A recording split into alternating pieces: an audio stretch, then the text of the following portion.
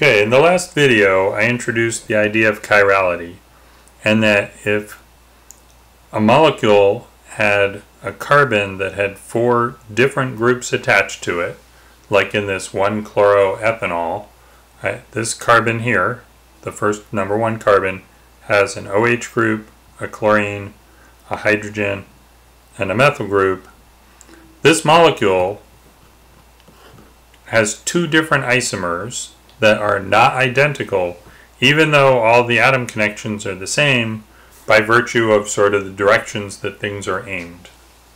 And so this is a very important concept that things can be optically active, can be chiral, and if two things with chiral carbons are mirror images, like these two, they're different and they cannot be superimposed to show that they're identical because they're not identical, they're different. So if you have the 3D molecules, it's really easy to see them in 3D because they are in 3D. But we have a couple of challenges now. They needed to name these two different isomers because they are different, behave differently. They need to have different names or different designations of the optical activity. Plus, we need to have a way to draw them quickly and easily on a two-dimensional canvas so that the three-dimensionality was there or implied. So one of the first things is the naming part is R versus S for the 1-chloro 1-ethanol. And the way they decided to do this was they put the lowest priority group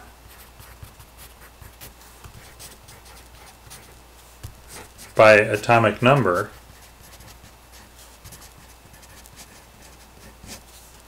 in back. So if you have a molecule like this guy here, and there's a chiral carbon, you identify the priorities of the groups. So we have the carbon has an OH on it, it has a hydrogen on it, it has a chlorine on it, and it's got a methyl group on it. Right, so four different groups and we would say that this hydrogen is in the back. So I'm going to hold this molecule so the hydrogen is in the back.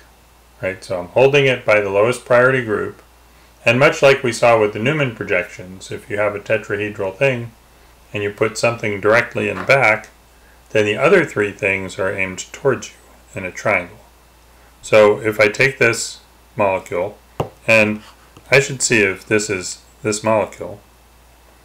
Um, again, this is a two-dimensional picture, so the three-dimensionality is not there. Um, but if I go ahead and hold this in back, and carbon, hydrogen in back, now I can see the chlorine is up and to the left. The OH group is up and to the right. And these are coming towards us, so I should use these wedges to show that those are coming towards us and the methyl group is coming towards us as well.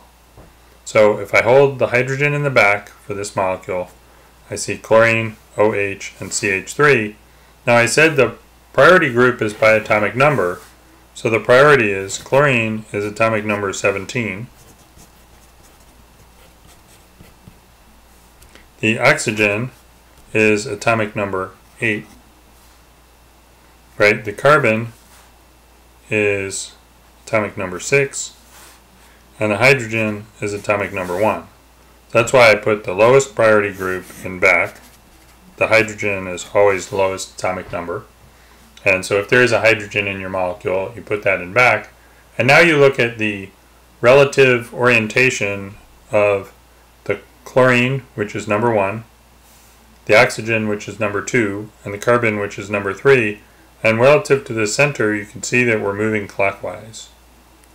So clockwise, chlorine to OH to methyl like this, priority group 1, 2, and 3, clockwise, that means it's the R isomer. The R isomer. So this molecule is the R isomer, my left-handed doggy, as I would call him. And if I were to pull the other guy out, he's different, right? And if I put the hydrogen back for this one, you can see that you have the reverse orientation with respect to priority groups. So chlorine, oxygen, methyl goes counterclockwise. And that's what you would see for the mirror image of this guy. So if you took the mirror image, put the OH close to the mirror, the chlorine far from the mirror, and the methyl in between. Again, the hydrogen is in back. Now we're going the opposite direction, and this one is S. So two different optical isomers, iso optical isomers, R and S. R is clockwise with respect to the priority of rotation when the lowest priority group is in back, and S is counterclockwise. And with this picture, I really can't tell which one it is because there's no chirality imposed here or implied. If I wanted to try to get the the same as this, I'd have to use some wedges and dashes to show what's in back and what's not. So let me go ahead and grab this R molecule. And this is where it'd really be great if you, everybody had molecular model sets and could play along. Pause it here and say, okay, I'm going to take the R isomer with the hydrogen in back. We're going clockwise. And now I'm going to look at how it looks on the page here. So if I have the chiral carbon in the center and I put the chlorine on the left and the hydrogen on the right, like it shows there, right? The chlorine on the left and the hydrogen on the right, then I've got the OH down here, or sorry, the, yeah, then my molecule, the OH is down here, but in the drawing, the CH3 is down there. So this is, um, if I want to get this right, I'm going to flip this over, and now I've got the chlorine on the left, the hydrogen on the right, the methyl on the bottom, and the OH on the top just like it is. So in order to get the perspective right on this one, I have to put wedges to saying that the chlorine and the hydrogen are pointing away from me, right? And the OH and the methyl are pointing towards me. So this is a perspective drawing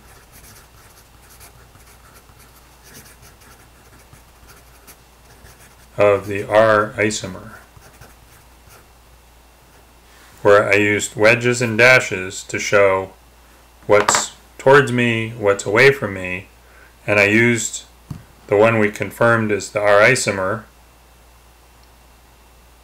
because of the clockwise rotation to help me to visualize